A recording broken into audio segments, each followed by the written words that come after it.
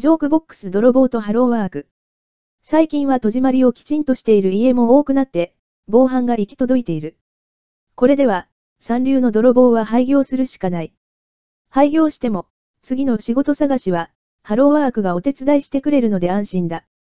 ところで、セリフの前に名前を付けるのは、脚本を書いている癖ですね。筆癖ですね。普通、泥棒とハローワークの相談員との会話は次のようになるはずです。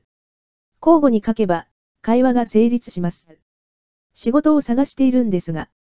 前はどんな仕事されていたんですか？泥棒です。こそ泥ですがね。それならいいところをご紹介できます。と言われて、行ってみるとそこは警察で。ハローワークからの紹介でやってきました。と言ったら、即逮捕されて、刑務所に入れられてしまった。今は刑務所内の仕事でいい成績を上げている。出所も、間近らしい。